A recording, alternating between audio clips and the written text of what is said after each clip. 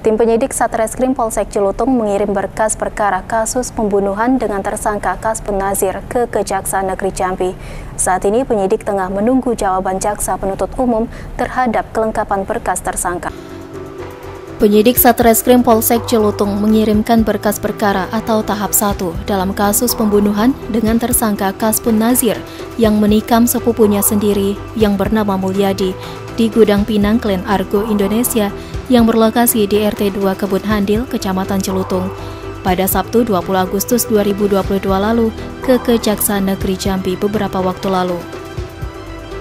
Hal ini diakui Kanit Reskrim Polsek Celutung, Ibda Fajarudin, yang menyebut bahwa setelah pihaknya melengkapi berkas perkara pembunuhan ini, pihaknya langsung berkoordinasi dengan Jaksa Penuntut Umum Kejaksaan Negeri Jambi.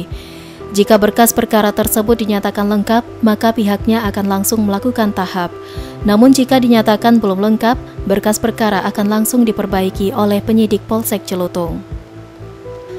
Sebelumnya, tim Macan Satreskrim Polsek Celutung menangkap Kaspun Nazir, warga RT 11 Kelurahan Cempaka Putih, Kecamatan Celutung, usai menikam sepupunya sendiri yang bernama Mulyadi di Gudang Pinang Klen Argo, Indonesia, yang berlokasi di RT 2 Kebun Handil. Kas pun nekat menikam sepupunya karena sakit hati saat korban Mulyadi menyuruhnya untuk membongkar muatan pinang. Sedangkan pelaku lebih tua dari korban dan pelaku yang membantu korban untuk bisa kerja di perusahaan tersebut. Atas hal ini, korban mengalami luka di bagian lengan kanan dan rusuk sebelah kiri, sehingga korban meninggal dunia. Atas perbuatannya, pelaku kas pun dijerat pasal 338 subsidiar 351 ayat 3 dengan ancaman hukuman 15 tahun kurungan penjara.